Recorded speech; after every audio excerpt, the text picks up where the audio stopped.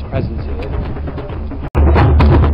Very interesting. I mean, I've spoken to a geologist, uh, I've spoken to a physicist, I've spoken to an environmentalist,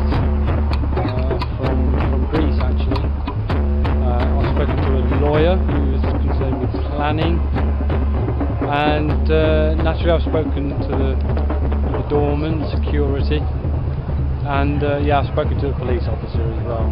Not not at length, but my only conversation was yes.